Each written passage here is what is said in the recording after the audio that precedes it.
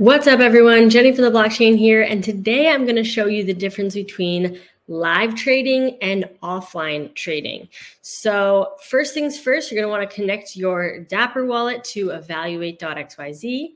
Once you do that, click on trade up at the top here, and you will see that for live trading, you can either click new live trade and it's going to search to connect you with somebody who is also searching for a live trading partner or you can look through you know some of your former trading partners or people that you've interacted with on here and you can click live trade from there. If they're not online it is going to let you know that hey look they're not live right now but you can build an offer. And building an offer is the offline trading portion. So your trading partner does not have to be online in order to build an offer an offline trade um, and essentially, what this is, is you are proposing a trade.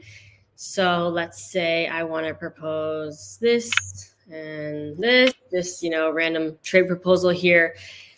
Um, and I can go ahead and sign things on my end, create the contract, sign it, finalize it on my side of things.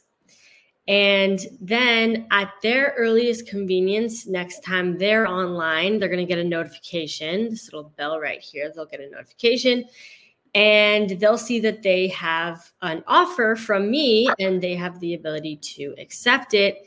And and then you know the nfts will be traded as soon as they sign things on their end so an offline trade is basically where you are proposing a trade and you're signing it on your end that way, they can take their time, they can sign it whenever is most convenient for them, and you don't even have to be there when they're finalizing it on their end. So, that is the difference between a live trade and an offline trade. Offline trading is honestly way more convenient, and also it's so much easier because you can send multiple different offers.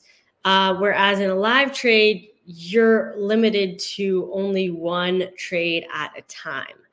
So thank you all for watching this video on the difference between a live trade and an offline trade. I will catch you guys in the next video. Peace.